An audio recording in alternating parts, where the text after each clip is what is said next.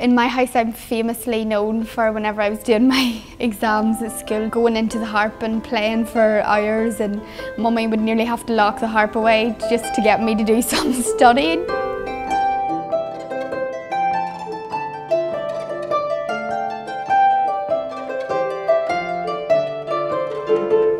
One of the women who runs the harp school approached my mother and says, you know, I think that she's got a bit of an ear for this harp.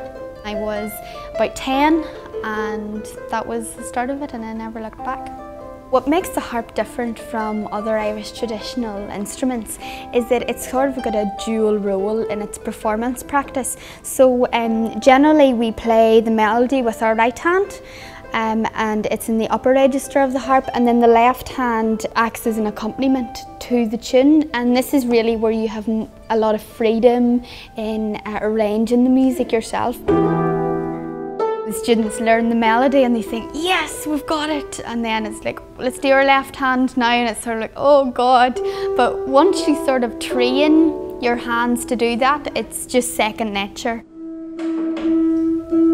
When I'm teaching, what I want to do is to give the student a broader understanding of the music world. You're open to such a vibrant scene at the minute, particularly in Irish traditional music. It's very much a social thing as well as a learning experience. Especially in teaching, you can see the appreciation that people have for what you're trying to do. In performance, it's my arrangement, it's my expression in music.